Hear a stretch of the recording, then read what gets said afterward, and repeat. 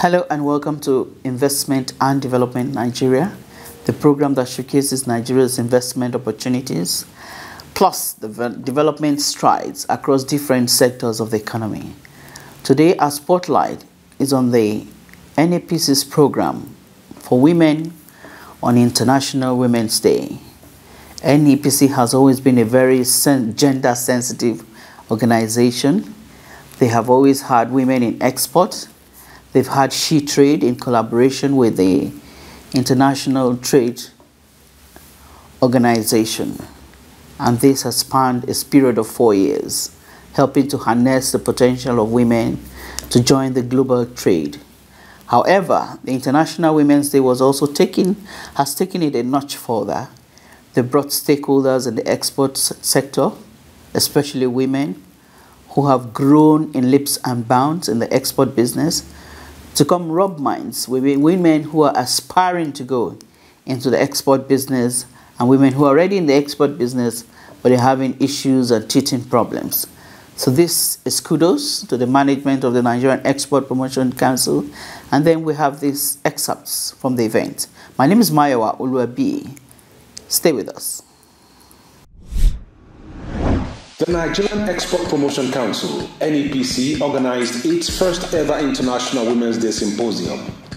The event was themed Breaking Barriers, Enhancing Inclusiveness, and Creating Opportunities for Women in Non Oil Export. The International Women's Day presented an opportunity for the NEPC to highlight its commitment to women empowerment through inclusive trade in Nigeria. Over the years, the Council has partnered with both private and public sector players in providing an enabling ecosystem for women in export. The Nigerian Export Promotion Council partnered with the International Trade Center, ITC, to launch the She Trade Initiative in Nigeria. The She Trade Initiative is an ongoing effort to support women led businesses by providing them with the required resources to compete globally. The symposium had speakers from various women focused organizations that came to deliver goodwill messages asking women to do more while seeking inclusion. Madam Etoko, Director, CSD. Ladies and gentlemen, the International Women's Day represents another opportunity to reaffirm Council's commitment to promote women inclusion in export business in particular and Nigeria's economy in general. This event is therefore expected to ensure that participants understand the importance of financial inclusion and ways to enhance global market access and visibility for women in export business. The moderators and panelists for this event have been carefully selected to educate, inspire, and create opportunities for networking. Finally, dear guests, I wish to welcome you all and appreciate your participation at this event, which is a great platform to network and gain knowledge geared at transforming the business ecosystem for women-owned businesses in Nigeria. Grace Uzoka presented a goodwill message on behalf of the national chairperson of the Nigeria Association of Chambers of Commerce, Industry, Mines and Agriculture, NACCIMA Hajia Abubakar Aisha. My name is Grace Uzoka and I'm here to present a goodwill message on behalf of our national chairperson in the person of Ajia Abubakar Aisha who due to her numerous assignments is unavoidably absent. I want to say we appreciate you and we look forward to more of such incentives. Congratulations as we successfully celebrate women who have achieved much in the non-oil export. Expose us to so many emerging opportunities and as we embrace equity. Happy International Women's Day. Mrs. Gloria from Women in Business Management and Public Services, WIMBIZ, who stood in for the Executive Director, Mrs. Adegbite. She spoke on the poor representation of women in politics, which was reflected in the results of the 2023 general elections. Hansatu Adegbite, the executive, the WIMBIZ's Executive Director. As women more than ever before, we need to unite and form a stronger alliance to underpin the delivery of gender equality. God bless us and thank you. Mrs. Deborah Adechi, the CEO of Women Entrepreneur Network, gave a brief but impactful charge for women to be inspired. My name is Mrs. Deborah Olochekin Adaji. I'm the CEO of Women Entrepreneurs Network. Your pursuit of gender equality, women inclusive vision for export in Nigeria is loud and clear for all to see. Through your programs and activities, creating inclusive spaces for women to arise in their entrepreneurial ventures and adventures. I am a testimony. The CEO of Women Enterprise Alliance, Oluwatoyi Matthews, appreciated the NEPC for its role in women empowerment and inclusion. She also celebrated the women carving their niche in the non-oil export sector. We engage various stakeholders with diverse interests, but with a unified objective for the SME sector. From research to policy, from capacity building to practice, from services to enterprise promotion, WINA is at the forefront in addressing gender disparities in the MSME sector, and we're a firm believer in an integrated approach to MSME development. Dr. Ezra Yakusak highlighted the achievements of the She Trade Initiative since inception and outlined other successful partnerships tailored to supporting women in export.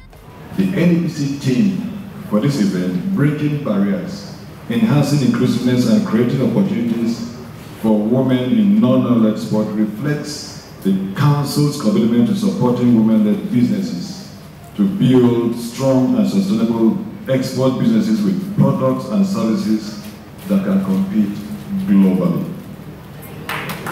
May I seize this opportunity to appreciate the efforts of all our partners in the execution of these projects and encourage stakeholders to continue working with us to promote the sustainable growth and development of women SMEs in Nigeria. On this special day, I appreciate all women exporters that have made a tremendous impact on the non-oil export space. We also commend the upcoming women-owned businesses that are gradually making inroads into the international trade terrain.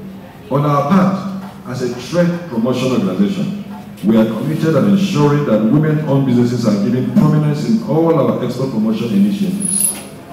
This symposium and exhibition is a mark of that commitment. May I, at this juncture, inform you that the Nigerian Export Promotion Council has never been found wanting on gender-based issues. Presently, we have over 40% of our staff are women, with some of them in top management positions. In conclusion, I'm aware that this is the first Women's Day the Council is organizing. Considering the impressive attendance of this event, coupled with the zeal and commitment being exhibited by participants, I wish to assure you that the NEPC will institutionalize this event by making it an annual occasion. In this regard, I implore all of you here to bring up ideas that will improve on subsequent Women's Day celebration. A panel discussion was set up, making up two sessions with women who are trailblazers in the non-oil export sector. These women have successfully broken barriers with their products selling out globally. The interactive session was aimed at enlightening the participants with hands-on tips from experienced women in non-oil export. now, over to you, Maxat. She's trailing on the parts that are being dominated by men. NASAT is the only female-owned certifying agency we have.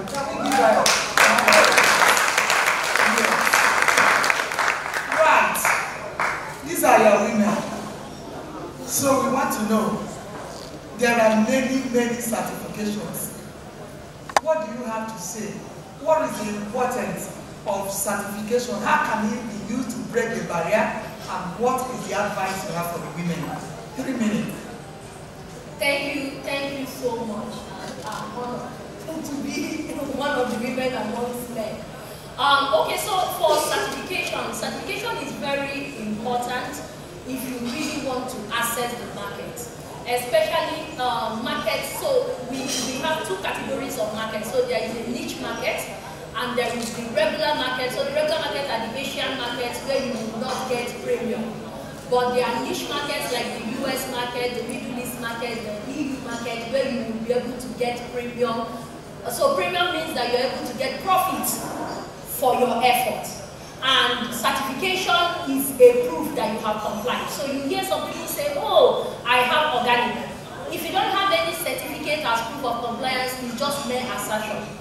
You need that proof, you need that certificate to be able to prove to the international buyer that you have complied with their standard or you have complied with certain standard that distinguishes your product from other products. That's number one.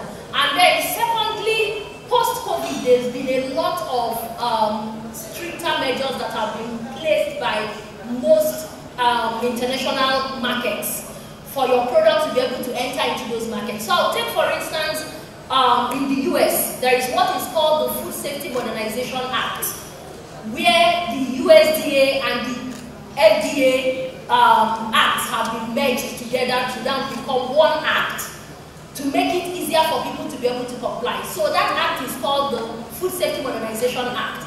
And within the Food Safety Modernization Act is what is called the Foreign Suppliers Verification Program that insists that not only will you, before, you are able to just register with FDA and export your product, but right now, even though you have registered with FDA, you have to comply with minimum food safety standards. What is your advice? Can you share with us on packaging and how packaging has helped, packaging and labeling has helped you to break through the barrier? Packaging is everything in business. We initially started, well, I should be proud of how I started. We used to try it in leather, the oil. Then we moved on. And when I got attached to NEPC, I was equally attached to She Trades. So Mr. Paul Akonde, uh, Udofia, there was one white man, I can't remember his name, Fred, Frank, uh, fine. It was, we had the training together with Inka in Kaduna. Packaging for international standards where they give us food grade quality so that the, the packaging material itself would not affect the content that we keep. And I remember the first time I took my product to Sudan, they did not believe it was made in Nigeria. Because from where we started and where we are now, this can sit comfortably on the shelf of any supermarket in the world. So packaging is very, very important. Bamkas Palace was used as a testimonial with the CEO, Kafayat Abimbola Ayeni, sharing her success story on the panel. Your um, your process and it's, it's actually a step to failure. When I say this is because most of us don't even have the same idea you had when you started your products. But That means you, whatever you produce in 2018, you can't even repeat the same thing in 2023. And the uniqueness, the uniqueness of your product should stand on your consistency. Your product must have this consistency in quality at every point in time. That's number one. Number two, the reason why your product consistency and quality remain the same depends on where your consistency in buying same quality of raw material from the same source. Changing your source will affect the traceability of your product. We got to meet Madam Annabelle recently. We've met before, but we now got to, I think we are inter, we are doing a kind of inter-brand marriage right now, and we realize that our perfection is actually still, to her standard, is still short of like 20%. Even if she was extremely impressed, but she wanted us, she told us one thing. And by the time I told her my dream, she said the only way you can achieve that is to include traceability. And even if you have all these documents, it doesn't work if you can't get tell us who are your farmers. Where are your, where, what are your farmers using?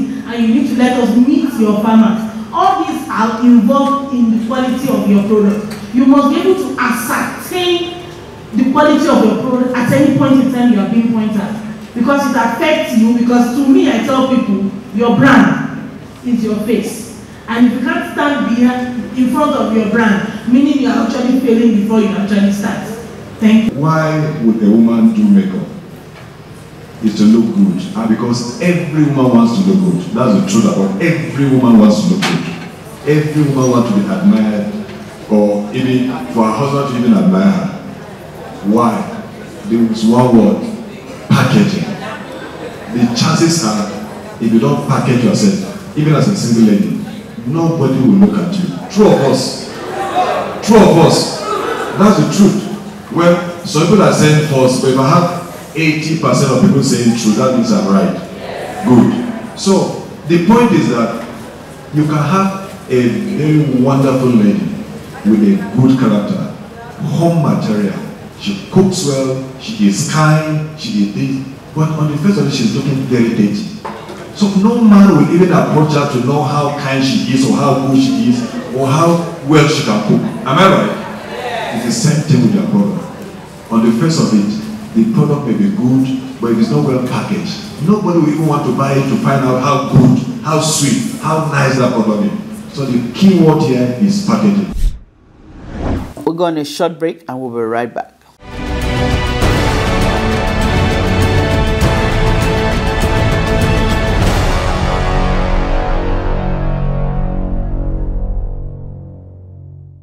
Welcome back. If you're just joining us, this is Investment and Development Nigeria, and the spotlight is on the International Women's Day as celebrated by the Nigerian Export Promotion Council for Women in Nigeria. And the conversation is still going on. Elevate, elevate. How many of us have heard about elevate before? Because this is my first time of hearing about the product. That's the first thing. And it'd be good for you to tell us how to access and elevate. Okay. So if you could just in a minute. Okay. Uh, Normally, elevate is an EcoBank product right. for women-focused and women-owned businesses. In this business, the board should be at least 30% women. Okay. The owners should be at least 50% women. The workers should be at least 30% women. And they'll also produce goods mainly to be used by or for women. This qualifies them for that elevate products. It's, it's for women. How women to grow. So, uh, concerning technology, I'd like to say that the rural community is a bit tricky. So you can't just go and start putting masks and telling everybody to start using your phone. So you have to start from somewhere. Right. So there's the advocacy part, there's the awareness. You have to make people understand what is happening. You could do e-money, you don't have to, you could do the low cost regular account. E-money where you can get your debit cards. Simple things you could be able to do with your phones. You could go the USSD route. You don't have to spend so much. So, but first you have to tell these people, okay, um, we're in the village, get the chiefs or the community leaders to be able to cascade down whatever you want to do. So technology can be very effective, especially in the rural areas where you just mentioned internet is good. You would have run there. Women in exports, they need assistance in form of grants to touch the people at the bottom of the pyramid. Those people that maybe their income within within the whole year, their turnover is uh, in the region of say 250,000 naira. Most of them don't make up to a million naira. Uh, so uh, definitely they don't even qualify for microfinance uh, uh, facilities. So that is what we have done. The rest of the value chain, if you're talking about aggregators, their turnover is higher, they will still need to go and borrow unless they, they get grants. And of course, again, talking about grants, NEPC has been doing marvelously well. Pushing, pulling, attracting, and ensuring that they help the women in the export value chain at all levels. At the end of the second panel discussion, the event proceeded to the exhibition phase, where participants displayed their products to the general public.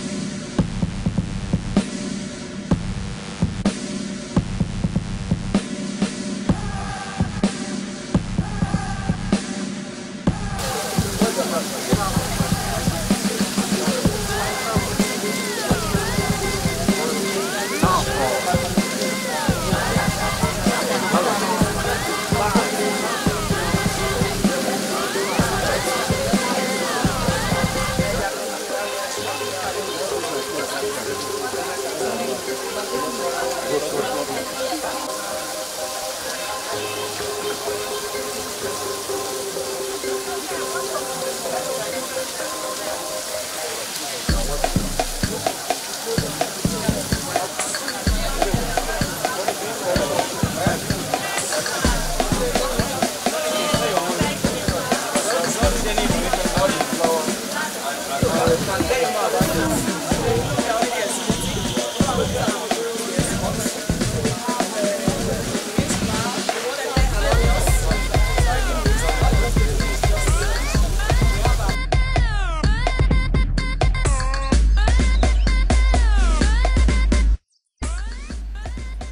to the large turnout of participants, the Council, through the Chief Executive Officer Dr. Ezra Yakusak, promised to make the symposium an annual event where women will be celebrated for their exploits in export.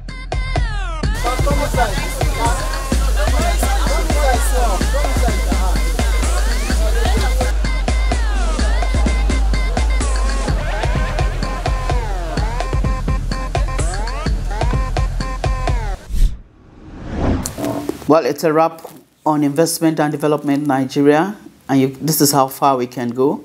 You've seen how it is with the Nigerian Export Promotion Council, empowering women, giving them capacity to trade on the global space, improving the quality of business for women in export. My name is Mayowa Uluabi. Thank you for watching. God bless Nigeria. Till I see you again next week.